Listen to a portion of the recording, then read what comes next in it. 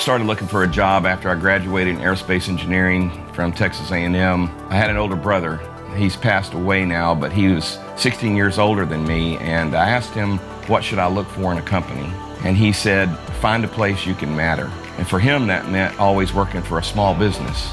So when I came out of college, although I interviewed with some of the larger firms, I really wanted to find a small business that I could find a home in and matter. When I walked in the front door, I knew it was a place that I could matter because what we do is extremely important to our nation and our allies, not only for our defense, but also for our nation's space program. And you get to do that in a small business environment where you matter. You're not just a number. I pride myself here on learning everyone's name across our entire enterprise because we are still a family run business. We understand that family matters. We understand that benefits matter. We want you to feel at home because if you feel at home here and you believe in our mission, just like the rest of us do here, then you will be a part of something truly special. We do everything here. We have a machine shop right here on plant.